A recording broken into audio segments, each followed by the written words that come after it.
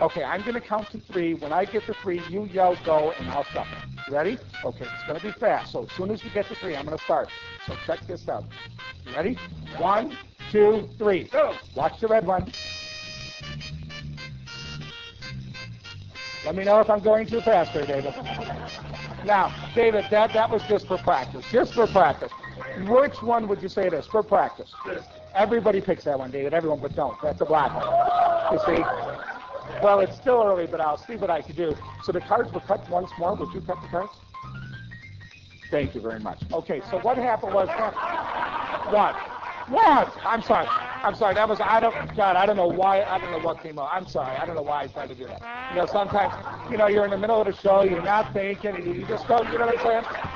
Yes. Come on, you guys. You're my people. Don't turn on me now. What? Yeah, but I'm so sorry, sir.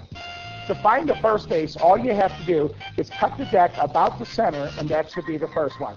Yes, Bill Malone! Bill Malone! Stop it, it up. All right, second one, you spin the deck like this, like that. There we get the clubs.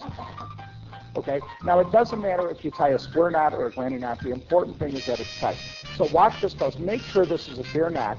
David, I want you to tell everybody, does that look fair so far? It is. It really is. Look, I'm going to put that through there and watch me as close as you can. Can you see that? Yep. That's fair, pretty tight.